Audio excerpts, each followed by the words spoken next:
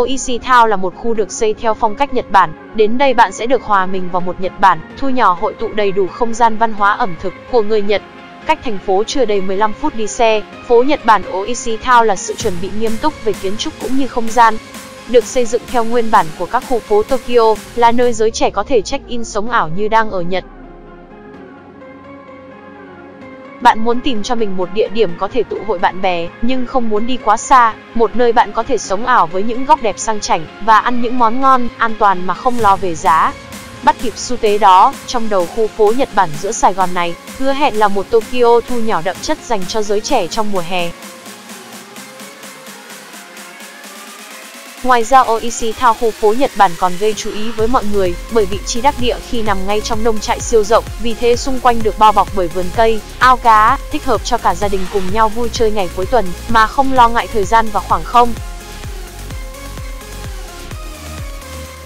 Ngoài ra hàng loạt động giải trí, nghệ thuật mang đặc trưng của đất nước Nhật Bản cũng sẽ được diễn ra như Yukata lễ phục truyền thống của xứ sở hoa anh đào, Kagami Beraki cùng chương trình ca nhạc đặc sắc, tất cả hứa hẹn một mang đến một màu sắc lễ hội đậm chất và đúng nghĩa xứ sở hoa anh đào.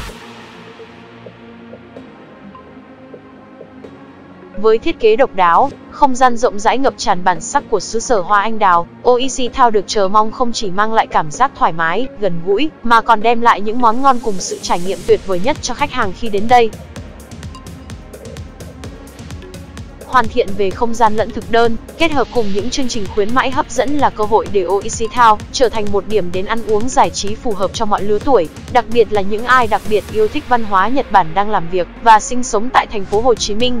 Trong tuần đầu tiên khai trương, những ai đến với OEC Town đều được hưởng ưu đãi khuyến mãi lên đến 50%.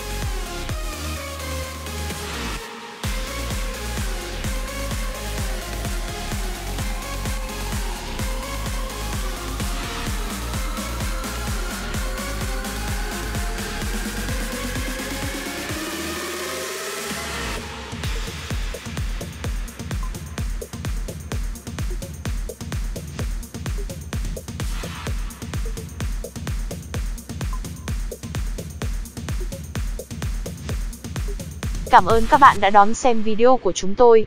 Các bạn nhớ đăng ký kênh để nhận được nhiều thông tin video mới nhất từ kênh Khám phá Việt Nam. Chúc các bạn một ngày tốt lành. Thân ái!